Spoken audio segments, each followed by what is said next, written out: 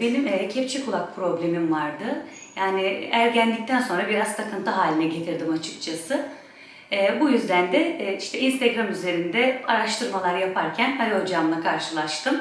E, onun da sayfasını incelediğimde hani sonuçlarından gayet memnun hastalarını gördüm. E, ben de görüşmek istedim kendisiyle. İlk gün tanıştığımızda e, kendisi Maraşlıymış zaten. Ben de Antep'te görev yapmıştım. Böyle bir ısınma oldu zaten aramızda ve e, bazı hastalarının sonuçlarını gösterdi bana. Gayet memnun kalmışlar. Bazı röportajlarını falan izletti. Yani ben de kendisine güvendim bu konuda. Şimdi açıkçası ben e, yani daha önce hiç ameliyat olmadığım için bir ameliyat korkum vardı ama e, bu kısa operasyondan sonra açıkçası bütün korkularımın boşa e, çıktığını görmüş oldum. Bir iki gün bir e, sıkıntı oluyor tabii ki de ister istemez üstüne yatmıyorsunuz, dikkat etmeniz gereken bazı şeyler oluyor ama ameliyat kesinlikle acısız geçti.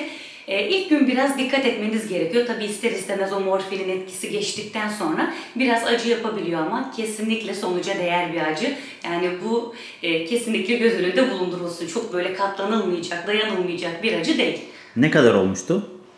Ee, Yani sadece ilk gün biraz hissettim. Diğer günler yavaş yavaş artık zaten ilk günden sonra e, pansumana gelmiştim. Pansumandan sonra artık yavaş yavaş acısı azalmıştı.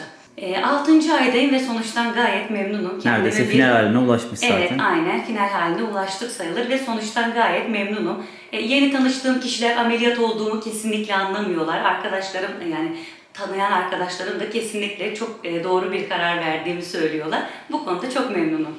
Kesinlikle çok mutluyum ve yani ben saç toplamayı çok seven bir insanım. Kesinlikle toplayamıyordum hani e, kalabalığa çıkarken falan. Bu konuda çok rahatım. Kesinlikle sonuçtan çok memnunum.